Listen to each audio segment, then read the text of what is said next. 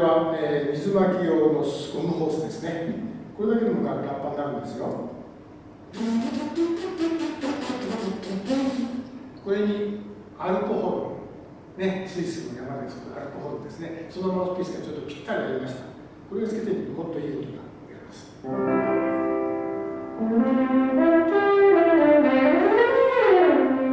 さらに台所用品でこういうのがありますね。ラッパ。